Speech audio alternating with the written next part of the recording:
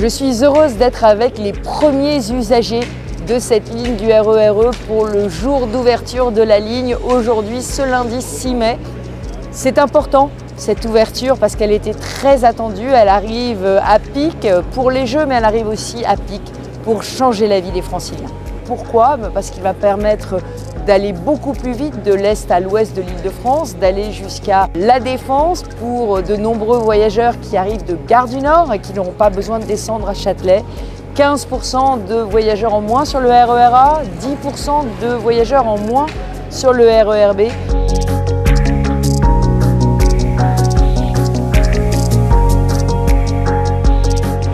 Alors euh, après les cathédrales de la Porte-Maillot et de la Défense, ces gares monumentales et magnifiques, eh bien nous sommes ici à Nanterre-la-Folie. Nanterre-la-Folie, une gare très poétique, un arche, un passage avec euh, un ciel étoilé.